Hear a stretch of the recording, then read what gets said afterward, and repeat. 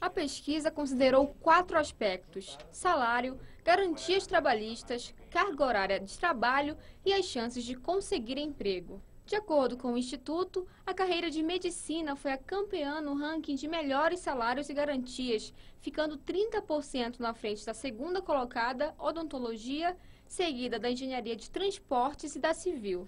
Ednei é médico oftalmologista. Ele atende cerca de 30 pacientes por dia. Trabalha em um hospital público e em um privado. Apesar da jornada dupla, ele destaca as vantagens da profissão a qualidade de vida é muito boa. Então, assim, a gente mantém a nossa é, é, rotina de forma, na verdade, de como a gente quer. Entre as profissões de nível superior que mais geraram emprego, a área de análise de tecnologia da informação ficou em primeiro lugar no estudo. A cada 100 vagas criadas, 16 empregaram analistas.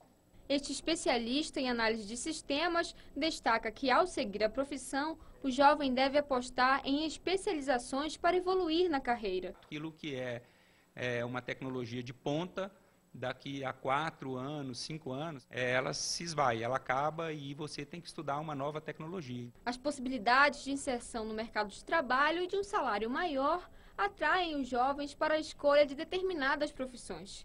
Mas antes de tomar a decisão, é preciso também levar em conta a vocação. Quais são as suas carreiras que você se vê mais seguindo? Né? E quais, como é que está a perspectiva para cada uma delas? Que isso pode ajudar na sua decisão.